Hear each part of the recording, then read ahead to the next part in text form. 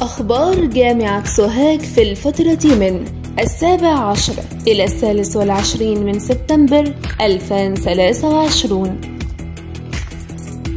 رئيس جامعة سوهاج يصرح قرارات الرئيس السيسي جاءت لتخفيف العبء على العاملين ويثمن استجابته الفورية لكل مخرجات الحوار الوطني. طلاب جامعة سوهاج تطالب الرئيس السيسي باستكمال مسيرة الإنجازات خلال ندوة التحديات التي تواجه مصر بحضور الإعلامي مصطفى بكري. رئيس جامعة سوهاج يتابع بدء التسكين الورقي للطلاب القدامى بالمدن الجامعية. رئيس جامعة سوهاج يوجه عددا من المهام العاجلة للقيادات الجديدة للمستشفيات الجامعية. النعماني يصرح زيادة أعداد أسرة العناية المركزة بمستشفى سوهاج الجامعي لاستيعاب الأعداد المتزايدة للمرضى.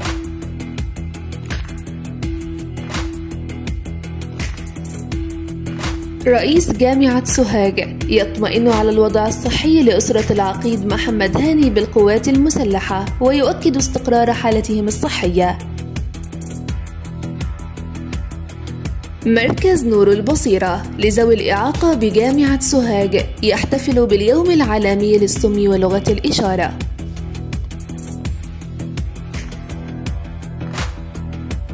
رئيس جامعة سوهاج يصرح مستشفى شفاء الأطفال صرح طبي عملاق يضاف للمستشفيات الجامعية قريباً. النعماني يترأس اجتماع إدارة الشؤون القانونية ويهنئ المستشار محمد ضياء لتعيينه مستشارا قانونيا لجامعة سوهاج. لدعم المواهب وأصحاب الحرف التراثية جامعة سوهاج تشارك في تنفيذ مشروع سوهاج بلد الثقافة والفنون. رئيس جامعة سوهاج ينعي الصحفي القدير حربي عبد الهادي نائب رئيس تحرير الجمهورية ومدير مكتبها بسوهاج.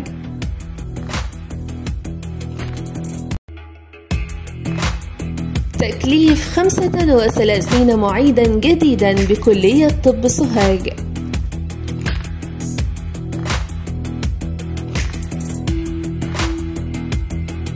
رئيس جامعة سوهاج يستقبل لجنة بالأعلى للجامعات لتفعيل برنامجي تكنولوجيا الزراعة المحمية والهندسة الزراعية والنظم الحيوية بكلية الزراعة.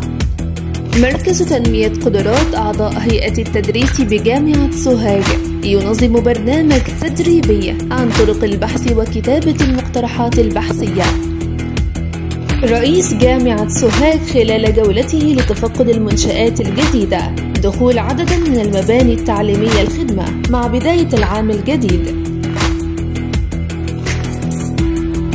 للقضاء على قوائم الانتظار.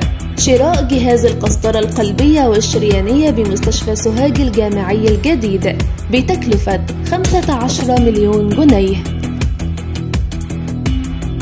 جامعة سوهاج تعقد اجتماعا تحضيريا استعدادا للتقديم في التصنيف الدولي للجامعات الخضراء المستدامة.